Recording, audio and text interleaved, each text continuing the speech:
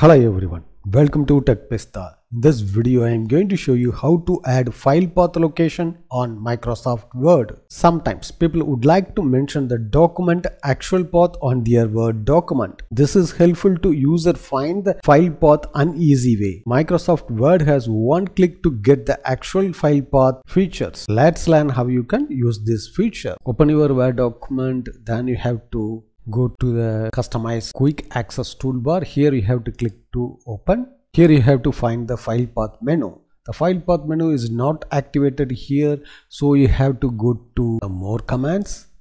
It will be open the word options. The choose command from section you have to select all commands.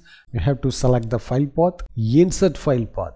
Then you have to add. Then you have to click ok now the file path feature has been added in your Microsoft Word. You have to select the cursor where you would like to add the file path. Then you have to click on the file path menu. This will be insert the actual file path of this document. So in this way you can easy to add the file path in your Word document. Thanks for watching this video. If you have any question enter the comment section.